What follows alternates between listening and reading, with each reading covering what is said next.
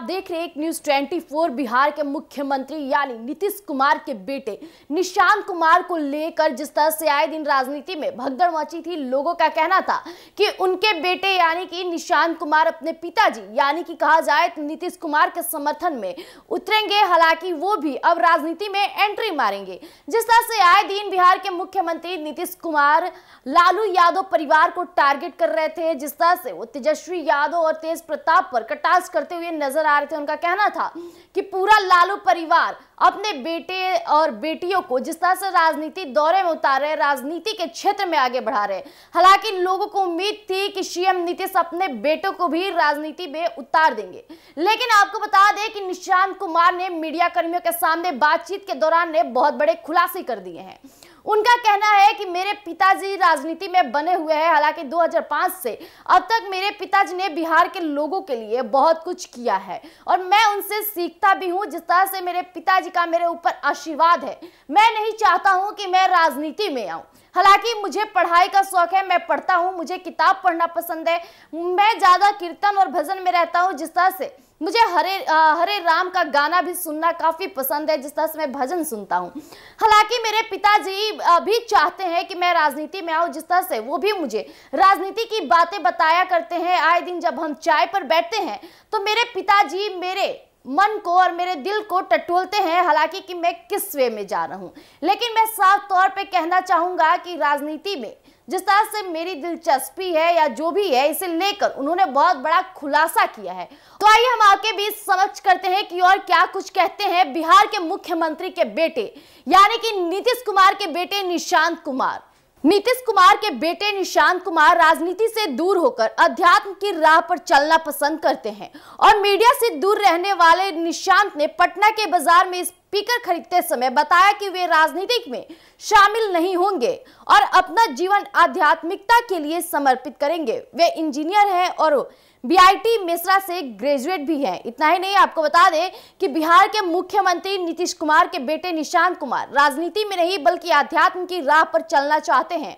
और हाल ही में पटना के एक दुकान पर स्पीकर खरीदते समय निशांत ने मीडिया से बातचीत के दौरान ये इच्छा जताई कि निशांत ने अपने पिता की राजनीतिक विरासत को संभालने को लेकर भी स्पष्ट संकेत देते हुए भविष्य की योजनाओं के बारे में भी जानकारी दी। आपको बता दें कि निशांत कुमार एक सरल लड़के हैं, जिस तरह से उनका व्यवहार है। वहीं नीतीश कुमार के राजनीतिक उत्तराधिकारी को लेकर अटकलें तेज होती रही है। कई लोग मानते हैं कि निशांत अपने पिता की राजनीतिक विरासत को आगे बढ़ाएँगे।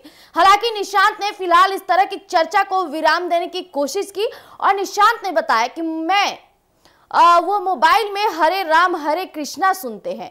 लेकिन उसमें आवाज़ सही नहीं आती इसलिए स्पीकर खरीदने बाज़ार पहुँचे हैं ताकि संगीत का आनंद आए। वही निशांत ने स्पष्ट किया कि वह अपने पिता की तरह राजनीति में नहीं जाएँगे। उन्होंने ये भी कहा कि वह अध्यात्म की राह पर चलना चाहते और जीवन भर इसे समर्पित रहेंगे।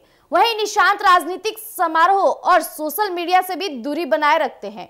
आपको बता दें कि नीतीश कुमार के परिवार की राजनीति से कोई लेना देना नहीं है।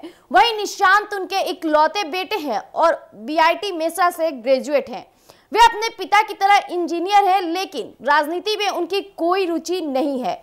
निशान के इस बयान के बाद साफ़ हो गया है कि आने वाले समय में सीएम नीतीश के परिवार का कोई सदस्य सक्रिय राजनीति में आने को इच्छुक नहीं है। तो जैसा कि अभी आपने सुना कि किस तरह से बिहार के मुख्यमंत्री, यानी कि नीतीश कुमार के बेटे निशांत कुमार ने मीडिया कर्मियों के समक्ष अपनी बातों को ज़ाहिर किया है, उनका कहना है कि वो अध्यात्म में ज़्यादा भरोसा करते हैं और उन्हें भजन कीर्तन सुनना पसंद है और जिस तरह से वो ग्रेजुएट भी हैं, जिस तरह से वो पढ़े लिखे हैं और इंजीनियर भी हैं तो उन्हें राजनीति में आने की कोई रुचि नहीं है, रहा बात।